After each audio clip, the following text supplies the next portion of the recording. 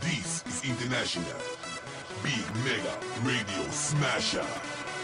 I had the time of my life, and I never felt this way before.